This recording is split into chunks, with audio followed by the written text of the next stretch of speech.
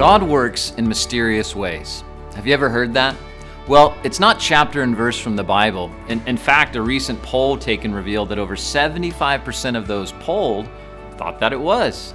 But there does seem to be some truth to that truth in my experience and even in what we see in Scripture. Think of how God created all things. The book of Genesis tells us He spoke them into existence.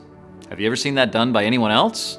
That is mysterious. Or the staggering way God delivered Moses and the Israelites from the land of Egypt, with plagues of locusts, frogs, even the angel of death. How he divided the Red Sea so they could walk on dry land, how he led his people by both a cloud and a pillar of fire, and even provided food from heaven called manna. Think of the way Jesus healed a man of blindness by spitting on the ground, making mud, and applying it to his eyes, and then healing him.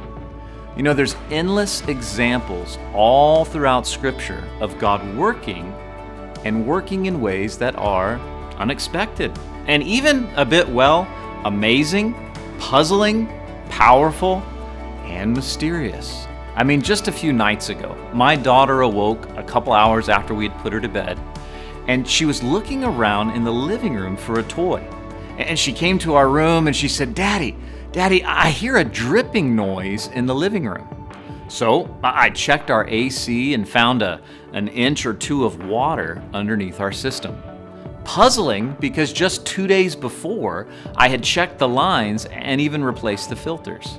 And it turned out to be a clogged drain line on the exterior of the house from a recent heavy rainstorm. But because she mysteriously awoke and thought it'd be a good time to look for her, her lost Beanie Boo, well, I was able to avoid waking up to a watery disaster in the morning. Mysterious, right? Well, listen, Scripture does not say God works in mysterious ways, but God does say in His Word, My thoughts are not your thoughts, neither your ways my ways, declares the Lord. For as the heavens are higher than the earth, so my ways are higher than your ways, and my thoughts higher than your thoughts. So today, let me encourage you.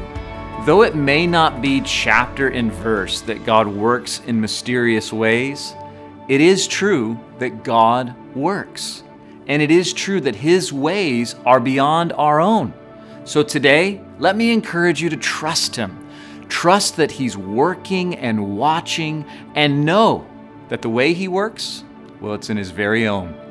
His ways may be staggering, puzzling, powerful, and even, well, even a bit mysterious.